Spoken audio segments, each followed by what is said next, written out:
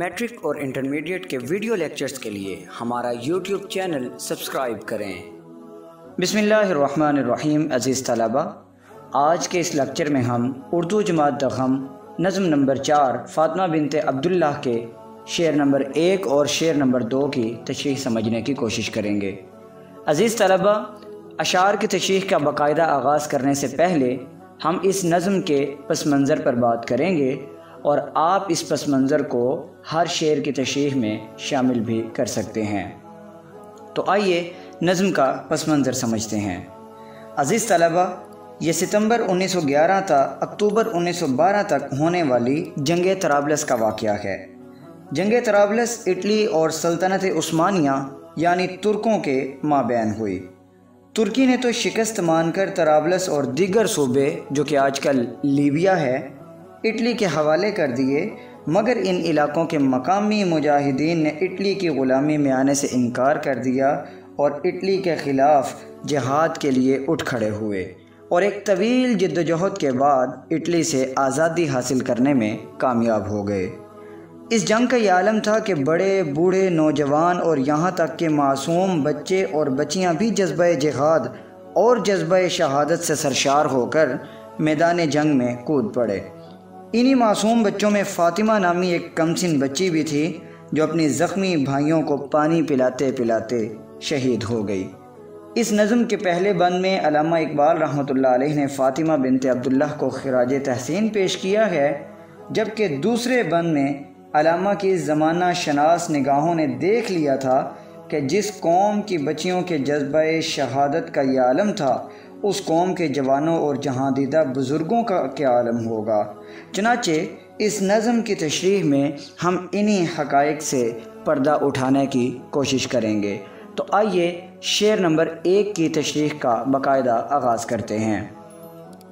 शेर नंबर एक है, फ़ातिमा तो आबरूए उम्मत मरहूम है, ज़र्रा ज़र्रा तेरी मुश्त खाक का मासूम है। मुश्किल अल्फाज के मानी देखिए। आबरू, इज़्ज़त, उम्मत मरहूम, मुर्दा उम्मत, मुश्त खाक, मुट्ठी भर खाक, और मासूम का मानी है गुनाहों से पाक। इस शेर का मफहम कुछ इस तरह होगा कि फ़ातिमा, तूने इस मुर्दा उम्मत की इज़्ज़त बचा ली है। तेरे जिस्म की मुट्ठी भर खाक का एक एक ज़र्रा गुनाहों से पाक है। तशी तलब निकात देखिए। पहला नुक्ता फ़ातिमा बिनते अब्दुल्ला को खराज तहसीन।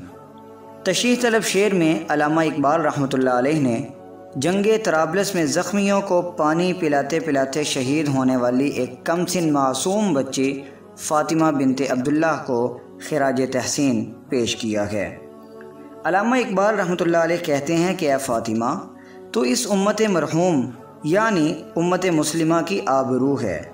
यह उम्मत अपनी अजीम शान तारीख़ और रिवायात को भूल चुकी थी। इनके अंदर जज्ब जिहाद ख़त्म होता दिखाई दे रहा था।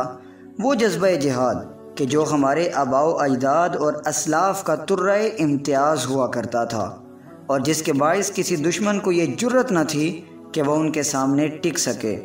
मगर इस जज्ब जिहाद के फ़ुकदान के बायस ये उम्मत जवाल का शिकार हो चुकी थी, मगर तूने इतनी कम उम्र में शहादत का मर्तबा हासिल करके इस मुर्दा उम्मत में एक बार फिर से जान डाल दी है।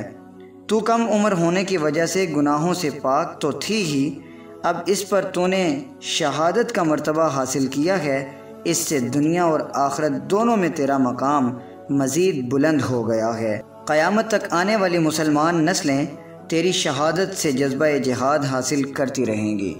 बकौल शायर, टूटी फूटी तलवारों में क्या बिजली थी, क्या शोला था, जहाँ फ़ातिमा बिनते अब्दुल्ला ने अल्लाह अकबर बोला था। अज़ीज़ तलबा, आइए अब शेर नंबर दो की तशरी मुलाहजा कीजिए।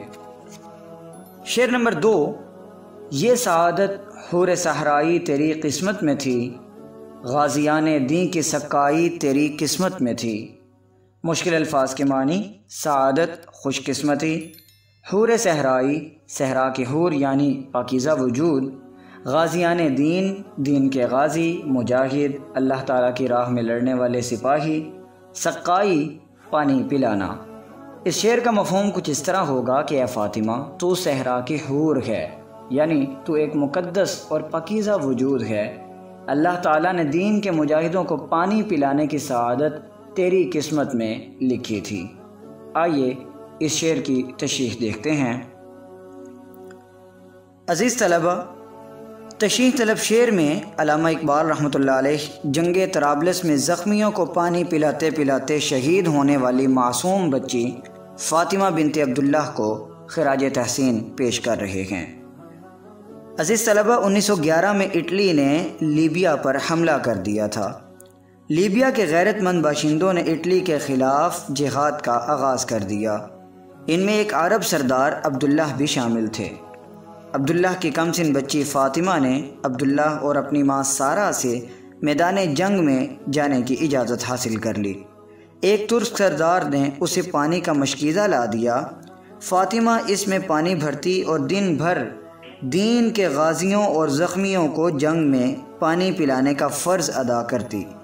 जंग की तमाम सख्तियों के बावजूद उसने बहादुरी से अपना काम जारी रखा। किसी को पानी पिलाना तो वैसे ही नेकी का काम है, और जबकि ये नेकी मैदान जिहाद में की जाए तो इसके मकाम का अंदाज़ा लगाना नामुमकिन है। चुनाचे, अलामा इकबाल रहमत कहते हैं कि, या फ़ातिमा तो रेगिस्तान की पाकिज़ा तरीन बच्ची है। तुझे अल्लाह ताला ने यह सआदत बख्शी है कि तू मैदान जहाद में दीन के गाजियों और मुजाहिदों को पानी पिलाती है।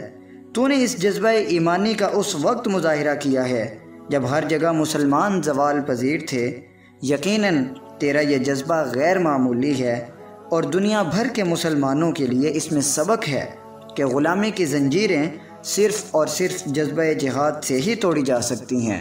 और तूने उम्मत मुस्लिमा को बता दिया है कि फ़ना फ़िल्लाह की तह में बका का राज मुजमर है। उसे जीना नहीं आता, जिसे मरना नहीं आता। अज़ीज़ तलबा, आज के इस लेक्चर में हमने नज़म नंबर चार फ़ातिमा बिनते अब्दुल्ला के पहले दो अशार की तशरी समझी। अगले लेक्चर में इन बाकी अशार की तरफ़ बढ़ेंगे। तब तक के लिए इजाज़त दीजिए। अल्लाह हाफिज़।